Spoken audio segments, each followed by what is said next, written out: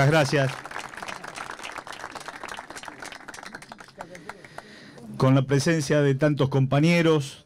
compañeros que peinan canas, compañeras de tantos años, de militancia, de compromiso, con la presencia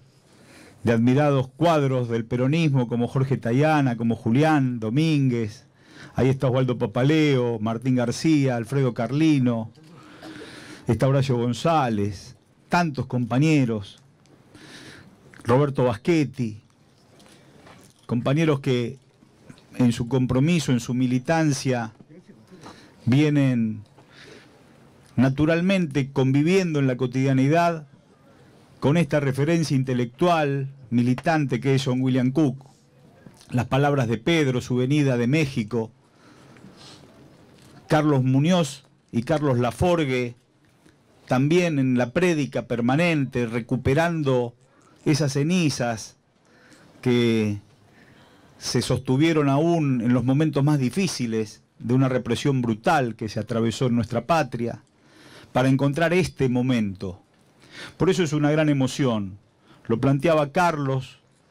en las primeras palabras, la convocatoria espontánea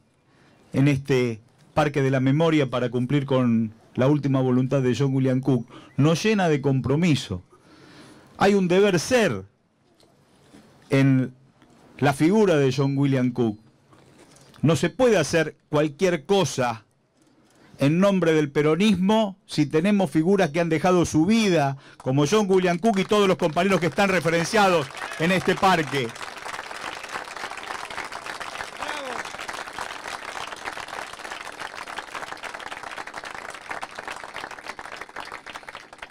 La analogía futbolera, cuando uno va a la cancha y ve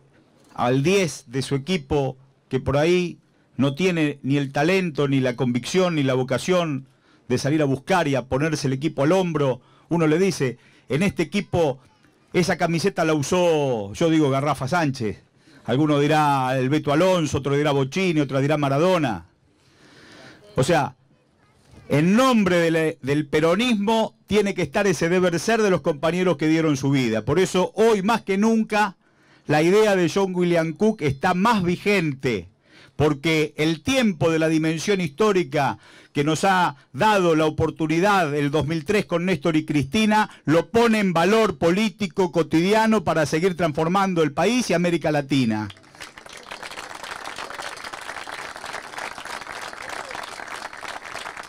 Esas discusiones que leíamos de pibes cuando Chapultepec o, o el diario La Prensa, y ahí lo veíamos a ese diputado joven joven como los pibes que hoy tienen 16, 17, 20, 25 años y llenan estadios en el compromiso y en la conciencia y en la organización. Un pibe de 24 años que va a la lista de diputados nacionales, que el Congreso tiene que tener una reunión especial para habilitarlo porque transgredía la normativa por su juventud y que tiene la responsabilidad de continuar a Perón si a este le pasara algo por decisión del propio general en los momentos más difíciles de la resistencia.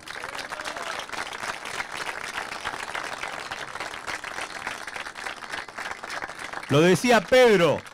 escuchar a nuestra presidenta, ayer estaba Julián y la compañera senadora estaban así en Estados Unidos, nuestra presidenta en Naciones Unidas, enfrente del presidente de los Estados Unidos, subrayarle los ejes de la construcción del mundo, de cómo tiene que ser un mundo donde nadie se puede salvar solo, subrayando las injusticias de un sistema financiero que especula, y que naturalmente convive con las desigualdades como si fuera un hecho natural. Por eso, hoy más que nunca, la figura de John William Cook está referenciada en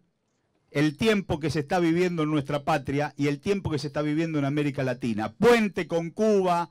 Fidel y el Che y Perón unidos a través de la Olivetti con que se escribían esas cartas memorables, la discusión incluso con el general, una discusión que el general fomentaba y permitía en el enriquecimiento de la idea de un movimiento tan amplio y tan plural como el nuestro, esa dimensión intelectual de respeto mutuo entre el cuadro que es John William Cook y el conductor. Bueno, a nosotros nos ha dado herramientas para seguir sosteniendo esta bandera por el resto de la vida de nuestra patria en el marco de un continente que es una esperanza filosófica para el mundo. Por eso, Carlos Laforgue, Pedro, Carlos Muñoz, los compañeros que impulsaron este acto, todos los compañeros que se sintieron interpelados a partir del boca a boca y de las redes sociales y que nos hemos dado cita aquí, la gran, la gran cantidad invalorable de dirigentes que nosotros respetamos y que queremos muchísimos, que también se han hecho presente, nos da la unidad de concepción para decir que vamos a cumplir con el deseo final de John William Cook, pero acá nadie entierra nada, sino que se despliegan las banderas para seguir agitándolas hacia el futuro.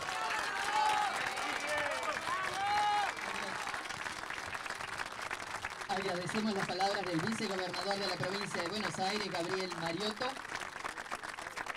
Y estamos llegando...